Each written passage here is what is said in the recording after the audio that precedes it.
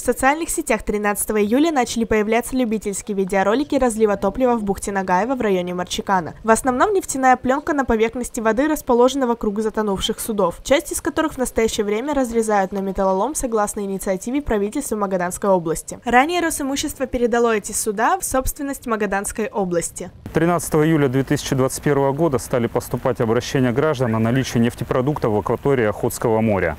По данному факту а, отделом по надзору на море Дальневосточного управления Росприроднадзора были организованы проверочные мероприятия. Был а, совершен выезд а, в прибрежную полосу Охотского моря, обследована территория. В настоящее время устанавливаются возможные причины появления нефтепродуктов в акватории, а также лица, ответственные за совершение данного правонарушения. В настоящее время проверочные мероприятия поставлены природоохранной прокуратурой по поручению прокурора Магаданской области на контроль. Будет дана оценка действиям Э, ответственных лиц. На данный момент источник загрязнения моря не установлен, несмотря на проведенный осмотр специалистами, как самих судов, находящихся поблизости, так и прибрежной полосы. Вечерний Магадан будет следить за развитием ситуации.